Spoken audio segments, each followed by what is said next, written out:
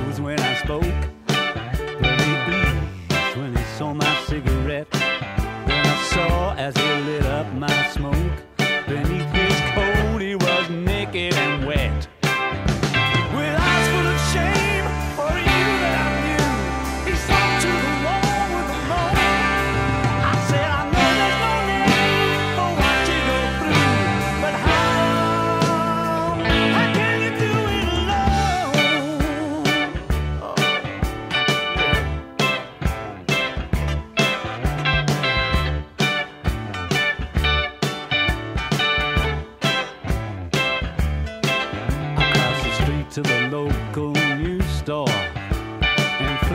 some cheap magazines.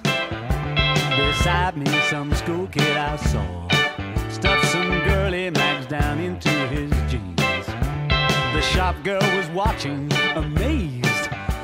She asked me to call for the police. She screamed at his blushing young face, and he escaped